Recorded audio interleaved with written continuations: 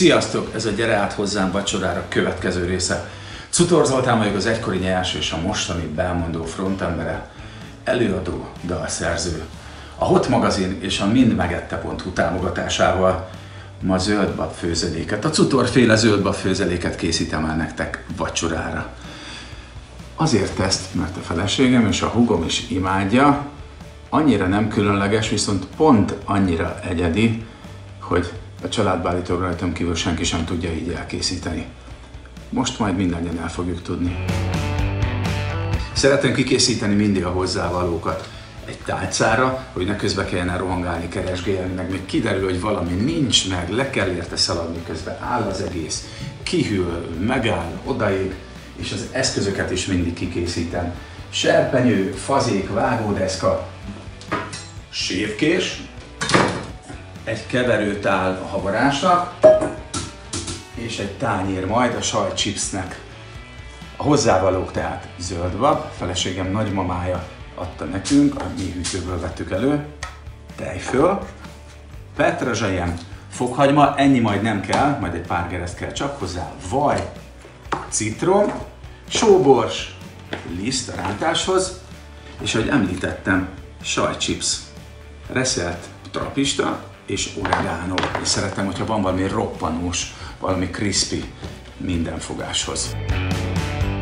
Az első lépés az, hogy a vaj felét beleteszem a fazékba, ami alá már előzőleg alágyújtottam természetesen. Megvárom, míg felolvad. És ahogy felolvad, hogy biztosan ne égjen meg, kicsit mozgatom is, azonnal beleöntöm a zöld babot és egy kicsit átforgatom. Jó jeges, egybe van a zöldbe. Kell egy kis idő, hogy felengedjen. És még mielőtt a fedőt ráteszem, megsózom.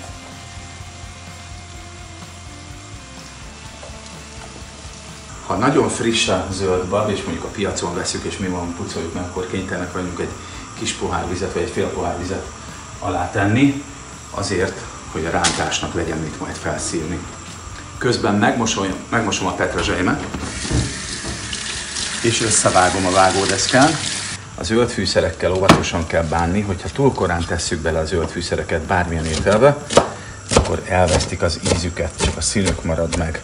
És ugye a zöld fűszereknek, így a petrezselynek is különösen a frissessége és az íze, az értéke.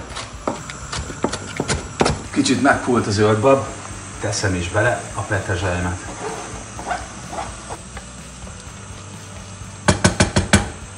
Rá is teszem a felét. Takarékra tettem a zöldbab alatt a lángot, csak így pöszörög. Az indból már nem is kell főni, én szeretem főleg friss zöldbabból lehet olyat csinálni, hogy ilyen ras lesz. Akármit is jelentsen az a szó. A rántás ugye mindig a zsiradék felmelegítésével kezdődik. Hát a zsiradékunk most a vaj lesz, én azt gondolom, hogy ennyi zöldbabhoz talán a fele is elég ennek, hogyha mondjuk 6-8 adagot csinálnék zöldbabot, akkor biztos felhasználnék egy fél vajat hozzá. És amíg ez olvad, addig megpucoljuk a fokhagymát. Örök és kívódás, hogy a fokhagyma héje hogy vesszük le. Vannak elektronikus különböző eszközök, de nekem ez a módszerem. Megsodrom így a fokhagymát, fokhagymagerezdet, és tökéletesen lejön. Még a nagyon tapadós héj is róla. Ami a lényeg, mutatom, hogy én hogy szoktam vágni a fokhagymát, és ezért jó a széles, jó lesz sévkés. Ráteszem lapjával, elnyomom, szétnyomom, és darabolom. Szétnyomom, darabolom. Ennyi.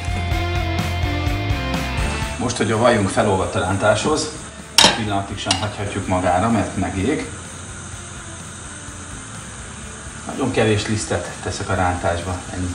Nem szeretem, hogyha egy főzeléken a rántás, főleg a túllisztes rántás dominál. Nem kell túl sokáig pirítani, ugye a lisztől mindig felhabosodik a zsiradék.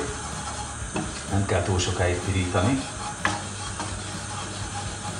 De hogy egy picit is megkapta a lisztet a forró vaj és a serpenyő, beletehetjük egyből az összezúzott, összedarabolt fokhagymát. Olyan jó illat lesz itt van. Ez egész ház örülni fog neki. Ezt sem birítjuk sokáig. Még mielőtt az elkészült rántást ráüntenénk a főzelékre, mindenképp vegyünk le a levéből, és tegyünk a tejfölre. Szeretem a fazékon kívül már a főzelék, vagy más esetben ugye a leves levével a habarást bekeverni. Ha közvetlenül teszem bele a tejfölt, akkor könnyebben kicsapódik. De nehogy egyből visszaöntsük a főzelékbe, először a rántás jön, csak hogyha már beletettük a rántást, akkor nem lesz olyan leve, amivel el tudnám keverni a tejfölt. És még egy kis csavar. Teszünk bele citromlevet, a babfőzelék, a zöld babfőzelék is, és a száraz babfőzelék is jó, hogyha kicsit savanyikás citromlével vagy ecettel, régebben ecettel értük el mindig, én jobban szeretem a citromot használni. Elkeverem, van egy jó híg homogén habarásunk. Egy kicsit még alá törkölök a rántásnak, hogy kapja oda egy enyhén a fokhagymát, jól kijöjjenek, kioldódjanak a zsírban az ízei. És ahogy ez megvan, már pedig meg vagyunk, teszem is bele a főzelékbe. Figyeljetek!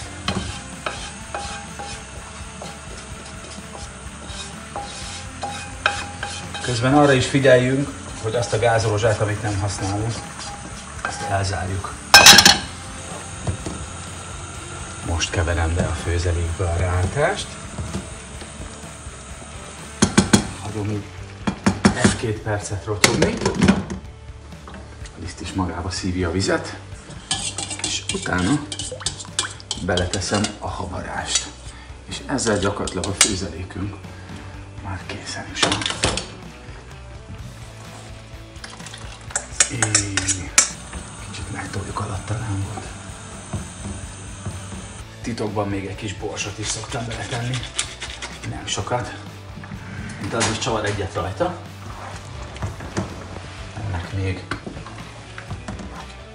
a rántással és a hagarással egy kicsit főni kell. Sokat. Félretesszük és nekiállunk a sajtchipsnek.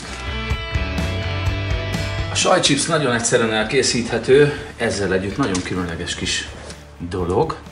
Szinte bármilyen ételt feldob, bármilyen sós ételt, körülbelül ekkora kis halmokat, ilyen 4-5 centis vagy 3-4 centis átmérőjű kis halmokat halmozunk. Szinte bármilyen sajt jó hozzá. Én régebben csináltam parmezán sajtból is, az sütőben érdemes, de a trapistánál egyszerűbb és gyorsabb megoldás nincs.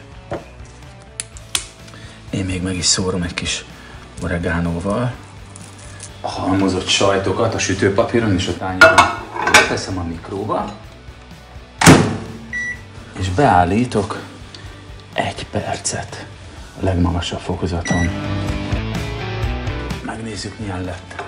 Látjátok, szépen ellapult, de ilyenkor még nem szabad hozzányúlni. Így kell hagyni szépen kihűlni, és meglátjátok milyen finom ropogós lesz belőle. Én imádok a konyhában sűrögni, forogni, és zöldbe főzeléket, meg ezerni másféle ételt elkészíteni, de nagyon-nagyon várom már, hogy a Belmondóval újra koncertezhessünk. Nagyon sok koncertünk maradt el. Talán életünk legerősebb tavasza lett volna, ráadásul évelején most jelent meg a legutóbbi albumunk, a hülye gyerekek. Nagyon sok vagány pörgős számmal. Igazándiból az elégíte neki, hogyha játszhatnánk már de egyelőre annyival is beérem, hogyha hallgatjátok és rákerestek. Közben a sajt chipset leveszem a sütőpapírról, ugye megvártuk, hogy kiül, és jó kemény. Ezt majd díszítésre fogjuk használni, és ez lesz a roppanós a főzelékben, ahogyan beszéltük is.